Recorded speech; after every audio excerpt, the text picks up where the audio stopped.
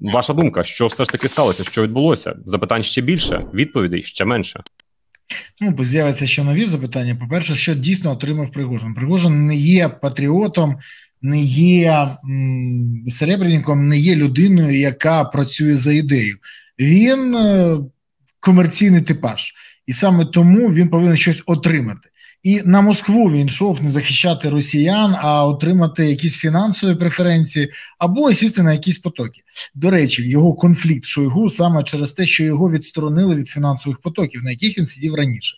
Так, от, е, якщо правда, що він отримав звільнення Шойгу. Ну, я можу сказати, що це тимчасово. Це як з генералом Лебедем, якого колись Єльцин призначив головою РНБО, але той пробув головою РНБО виключно менше ніж два місяці. Далі його зняли, а потім ну, потім його кар'єра закінчилася тим, що він загинув.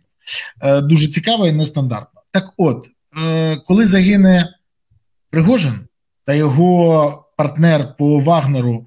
Уткін Вагнер, теж герой Росії. Оце найцікавіше питання, тому що Путін не може дозволити собі залишити людей, які підняли заколот і виставили його дурням в очах громадян напередодні виборів. За рік в Росії будуть вибори. За слабкого Путіна не буде голосувати ніхто. Путін повинен довести, що він класичний азіатський диктатор, і знищити своїх опонентів, навіть якщо він з ними обнявся. Тому подивимось, якщо це тільки Шойгу, я не вірю. А от те, що ми багато що дізнаємось пізніше, повне можливо, можливо. Ну, дивіться, от е, у нас же є з'являється запитання. До речі, друзі, я вас закликаю писати ці запитання е, в чаті до трансляції. Буду їх переадресовувати до е, сьогоднішніх гостей мого ефіру. Крім цього, ставте обов'язково вподобайки цьому відео, підписуйтеся на фабрику новин і ставайте нашими спонсорами. Отже. Цирк для рашки Валентина Холод пише, щоб більше м'яса призвати. Як гадаєте, може бути це так? Ні, не може. Для того, щоб призвати м'ясо, не потрібно був такий цирк. Більше того, в Росії живе от класичне бидло, яке підкоряється владі і нічого не каже в супереч. Якщо бидло не згодно, воно намагається збіжати з країни не більше, але голосів, що хтось чимось не згоден, або навпаки, а, казати, що ні, я не піду, такого не буде. Або бігуть, або йдуть до лав російської армії. До речі, тут написали, тобто, хтось був Вагнер буде освобождати Харків. Готовтесь. Ну, дивіться, Вагнер я може навіть не вивожу просто на екран, тому що це а я вам скажу, Вагнер може звільнити Харків тільки від е, лайна, яке там залишилось після росіян. Це єдине, що але це полонені вагнерівці. Дійсно, це правда. Вони є великою кількістю, і саме вони будуть зачищати а, наші м, фактично мусорні бачки. Так кажуть, якщо я не помиляюсь, але це єдине, що може бути. А від них звільніть е, землю Збройних сил України. До речі, е, куди повертається Вагнер?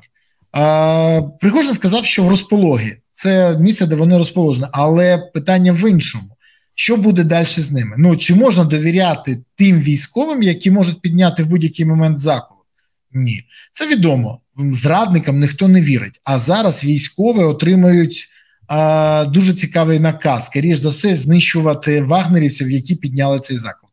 І більше того, для самих вагнерівців це буде теж дуже цікава історія. Це шлях в один кінець. Я поясню, чому. Пам'ятаєте історію, коли з чого все почалося? З обстріли розпологи, де були знищені частково вагнерівці. Маєте на увазі це... учора? Напередодні? Так, да, учора. Uh-huh. Вчора, вчора, і це було там викликало обурення у Пригожина і сказав: ми будемо мстити, ми покараємо злодіїв. Ну далі навіть вагнерівці, які не дуже розумні і дотепні, зрозуміють, що це була постанова, що їх знищити. І наступний раз Пригожин знову знищить нових, щоб отримати якісь преференції. Ну, наприклад, виграти тендер на поставку чогось в армію, або отримати якусь будівель, якийсь будівельний майданчик в Пітері. Саме вони є для нього інструментом для отримання преференцій. Тому нічого дивного не буде. А, Чи будуть довіряти вагнерівці після того Пригожину? Теж ні. Тому ще раз кажу: запитань значно більше ніж відповідь. Пане Березе, до вас е, персональне запитання від глядача Адам. Е, а може США мати відношення до заколоту Росії? Взагалі, яка роль може тут бути за кордону, е, вплив за кордону, окрім звісно Лукашенка?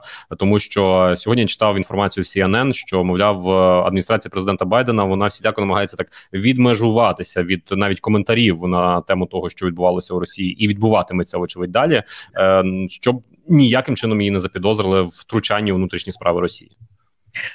Так і є. Е, більше того, Сполучені Штати, якщо б і втручались би, то зовсім по-іншому. Скажімо так, Пригожин е, не тільки в розшику у ФБР, а є військовим злочинцем.